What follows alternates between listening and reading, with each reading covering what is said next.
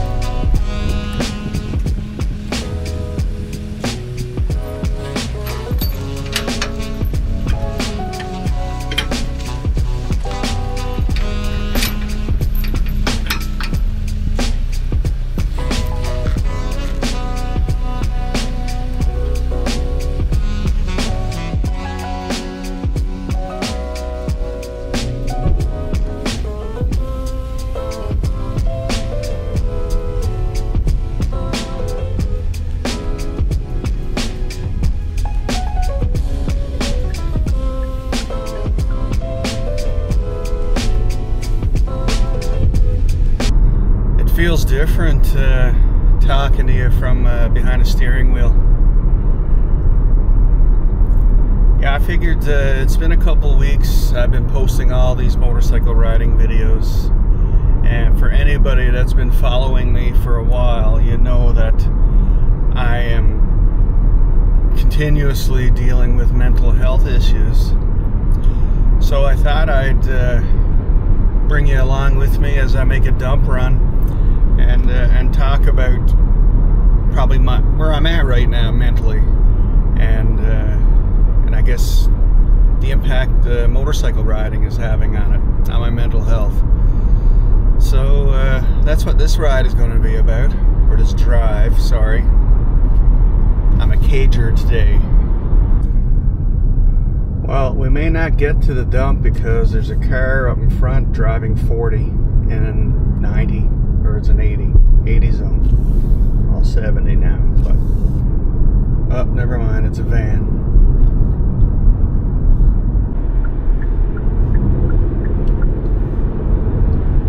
Get around you, Dodge. So, as some of you probably already know, I've uh, went through several weeks of ketamine treatment for my major depressive disorder because I have I have post-traumatic stress disorder. I have major depressive disorder, general anxiety disorder. I got a bit of ADHD, a bit of OCD. So uh, there's a few things going on in my brain that's uh, that's malfunctioning, I guess. So uh, they stopped the ketamine treatment because it wasn't successful. It wasn't working on me. So of course that means more med changes. And with more med changes comes the side effects of these med changes. And I've been dealing with a lot of that over the last couple of months, and it's uh, it has been taking a toll on me big time. Especially, well, not especially. Like for example, it's causing insomnia. Usually, I take my meds, and within 20 minutes, they knock me out. And I'm usually good until probably uh, 8 or 9 or whatever in the morning. And it's usually a fairly solid sleep, no dreams or nothing, anything like that, because indigo oil takes away that. But for some reason lately, it's uh, it's taken me longer to fall asleep, And as soon as I wake up, it's it's like every light bulb in my brain is alert and alive and awake. And it could be the simplest little thing that wakes me. And so I'm losing an average probably three or four hours sleep a night lately. And that is guaranteed to be taking a toll on my mood. And it probably explains a lot of my anger issues for over the last month or so. Craziest thing about the anger issues is that it's uh, it's caused by like trivial things, things that probably shouldn't be causing me anger issues, but they do. Like I'm very sensitive to lights and sounds, noises, motion, commotion, things like that. That's why I'm very limited on where I can actually go. And I find even at home, like the, just the general noises that happen around the house, like the dog's nails on the floor, maybe the wife's doing dishes, the son's playing his video game, the mini split is blowing. All of that adds up and contributes to a very stressful and frantic uh, experience for me.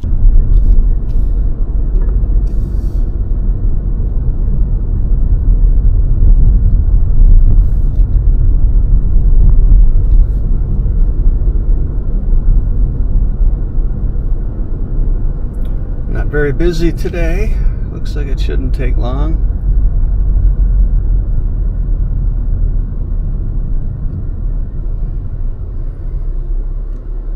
You see, that's all the hypervigilance portion. It's like I hear every noise, every sound, every dog that barks at night, every light that comes on or off, people walking around, sitting around on their phones outside or or whatever it might be. It all just, just, it's like a, my head's in a vice or something. It's like I just need to explode. So that's why I ride a lot lately. You probably you've seen all my videos, a lot of riding, and I'm riding. It's probably a 75-25 ratio. 70, 25% I like riding a bike. 75% I'm riding to escape, to get away from everything that that that troubles me and bothers me. And that is not a good thing. It's not a good feeling. It's uh it's not a good feeling to not want to be in your own home, to not want to be in your own yard, to not want to be on your own property. And uh,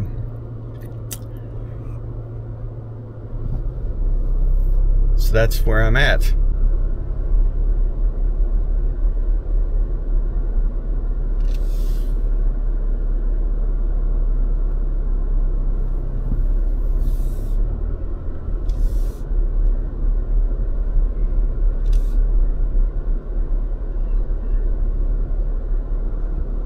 Too many people around to film me uh, offloading, so I'll see you in a minute.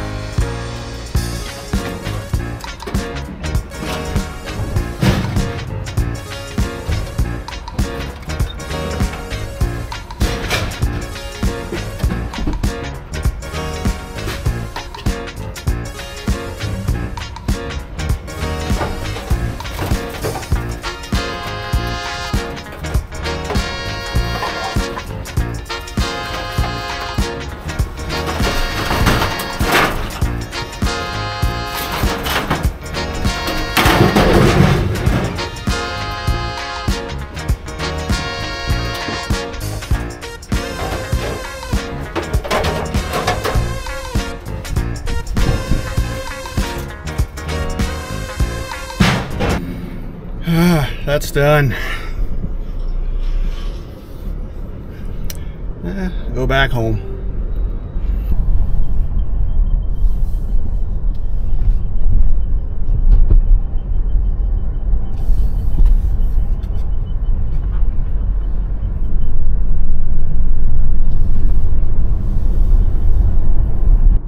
most people when they do a task like that they clean up their yard they get rid of a bunch of junk.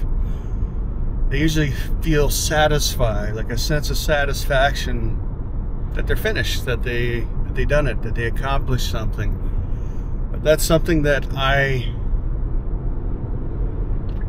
that i don't uh, that i don't experience at all is, is satisfaction from completion of tasks.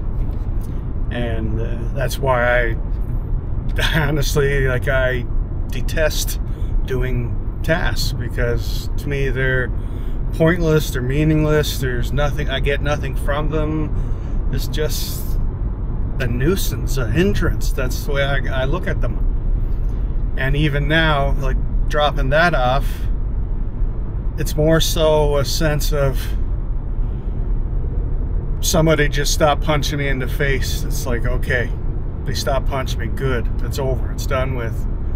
But there's no satisfaction or joy or excitement because he stopped punching me in the face.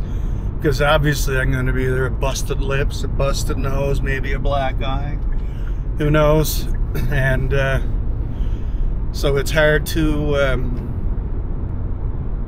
sorry, I lost my train of thought that time. Not sure where I was going with it.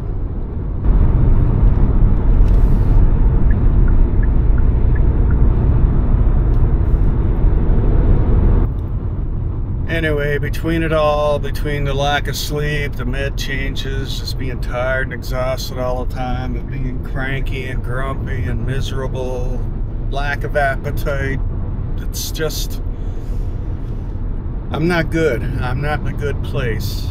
And uh, no matter how much you see me smiling on a motorcycle ride, it's uh, it's an illusion. And uh,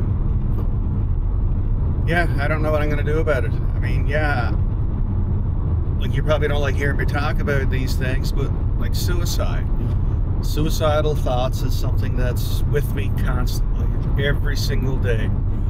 And it baffles me because I got a great wife, a great family, great son, great kids, and all that. And uh, yet I still, uh, I still feel that way. It's crazy how uh, the things that can actually trigger those thoughts. Like I said, I mean, it could be just a dog barking or some lights or whatever at night, and it bothers me, and it's enough. To, it probably doesn't cause it itself, but between everything else, it just builds up and builds up and builds up, and then you just like, you know screw this. I can't handle this. I don't want to deal with any of this. I death would be so much better. That's where my head goes. I'm still here, obviously, because I've been having those thoughts for 10 years or more. So I'm probably not going to go anywhere yet. I know, it's funny, isn't it?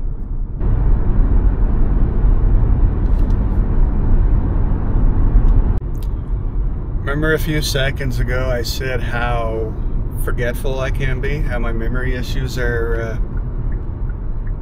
uh, are have been messed up a lot over the last few years. Well, here I am, just about home, realizing I got my trailer on the back and uh, it goes to my brother's house. It doesn't go to my house. Like I just totally forgot just, I was heading home with my trailer. So guess what? I'm on my way to Dogberry Hill.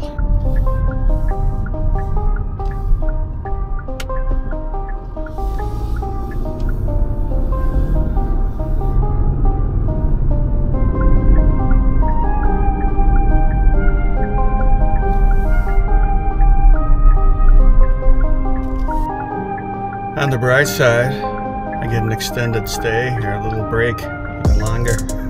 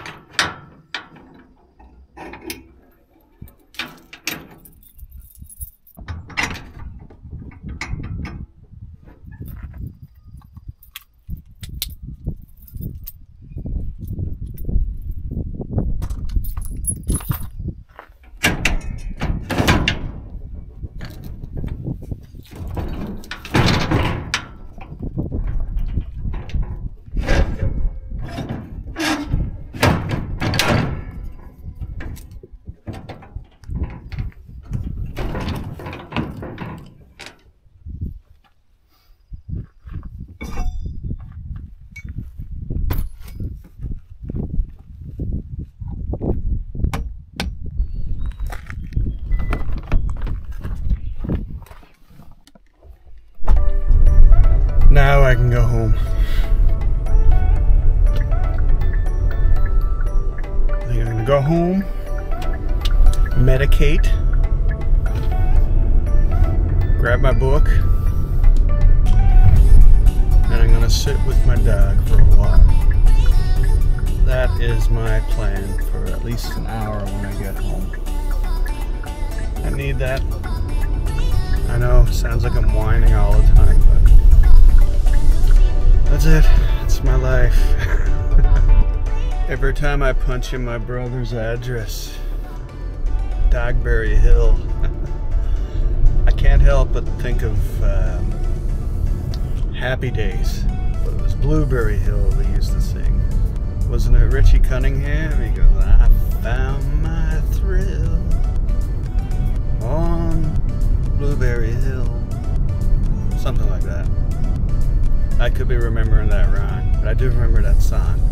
And every time I think about Dogberry Hill, it makes me think about I found my thrill.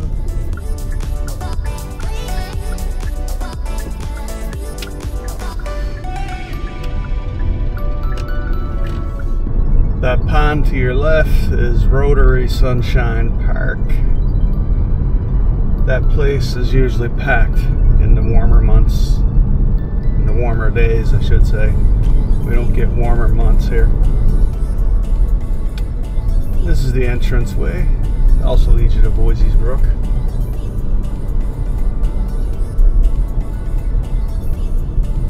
I had a fire one day out by that pond. There's a trail back a ways, and I uh, put my backpack on, went and set up my hammock and everything just to check it out or to try it out because the first time I set up my hammock. And I sat down by that lake and had a nice little fire and got some drone clips. It was quite relaxing. I might go to that spot again soon, I think. It's uh, nice, peaceful, and tucked away. That's what I should be doing right now, riding.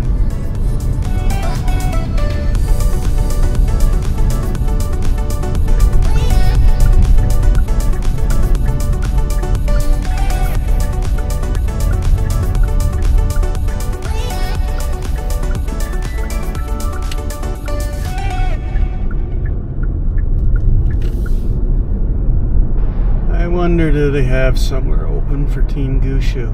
I hope so. I seen one car go in. I don't know if you're allowed in there or not. There we go. Right here.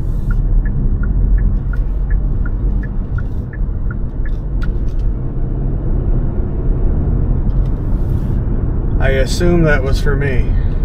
It may not have been. no, most likely it is. You can't block off the whole off ramp there.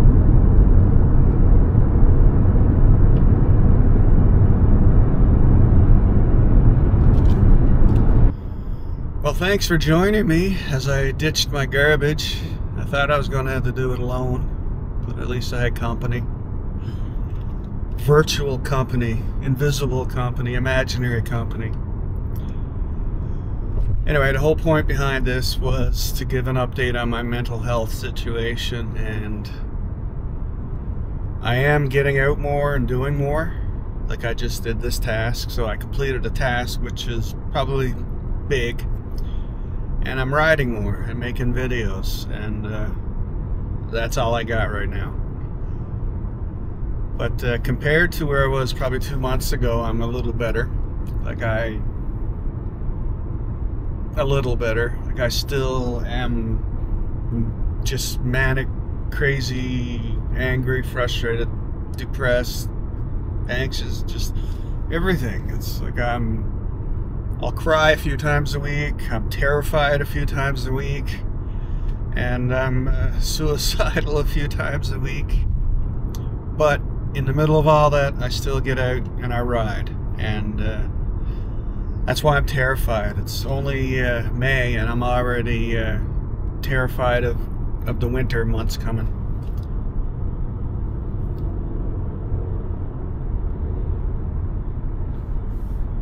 Isn't that weird? That's how that's how messed up my anxiety is. We're in May, and I'm already stressed about crap that's going to happen six months from now. And I'm like that for everything. Oh, throughout the whole summer, I'll be the same way. If there's a doctor's appointment or a commitment or anything, that's it. The days or the weeks leading up to that, I'm paralyzed. I'm immobilized. It's like I just can't function because I got that one task coming up, and that's all my brain can handle is one thing at a time. So, this is it. Anyway, I'm going to stop blabbing now. I'm just kind of ranting and venting and getting things off my chest. And uh, it's probably going to mess up my YouTube algorithms. I don't really care about that stuff anyway. Because here we are. Scenery, scenery, scenery, scenery. Whining and complaining. Ah, that's like a, a brick wall, probably. So anyway, I'm going to let you go. So thanks for joining me and thanks for listening. And uh, I look forward to uh, reading your comments and uh, seeing your messages on the following videos. You don't need to comment on this one if you don't want. Anyway, take care and enjoy the rest of your week.